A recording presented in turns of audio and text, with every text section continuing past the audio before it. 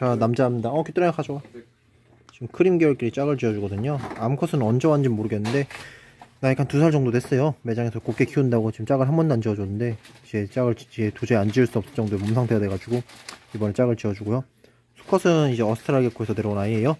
어, 분양 금액은 제가 다- 당시 입양할 때 3K였으니까 대략적으로다가 한 400만원 정도에 데려온 것 같네요. 후회하고 있습니다. 그런 짓을 왜 했을까요 아무튼 간에 둘 다 크림 계열이어가지고요. 어, 그냥 베이비들도 어떤 느낌으로 태어날지는 대충 예상이 가는데 뭐 잘 태어나 주겠죠.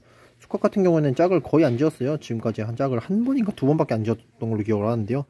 그래도 이제는 뭐 나이도 찼고 이제가 둘다 충분히 번식 사이즈이기 때문에 이번에 짝을 지어줍니다. 계속 혀를 낼름낼름 하는 게 자기들끼리 인사하는 거예요. 근데 암컷이 너무 흉악하게 생겼다.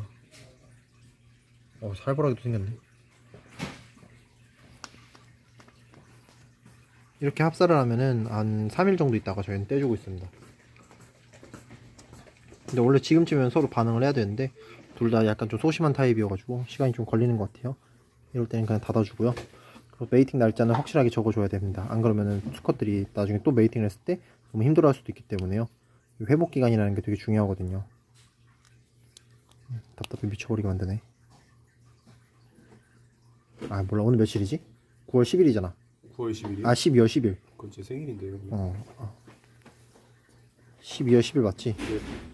오케이. 아, 지, 지 혼자 이게 지금 자기 혼자서 얘를 쳐다만 봤는데 지금 혼자서 배출을 하는 거예요. 지금 꼬리 들고 있는 게 곧 그 엑기스가 나올 거거든요. 그게 암컷을 본 것만으로 다 흥분을 해가지고 자기 혼자서 그걸 해결을 하고 있는 건데 안타까운 장면이죠. 아, 벌써부터 흘렸어. 저런 친구들이 있어요. 너무 이제 오랜만에 짝을 만나다 보니까 이게 뭐라고 설명해야 되지? 좀 애매할 때. 어, 뭐 어떤 느낌인지 대충 다들 아실 거라 믿고 있습니다. 저도 보고 싶지 않은 광경이긴 한데요. 후압! 이럴 땐 닫아줄게요. 감사합니다.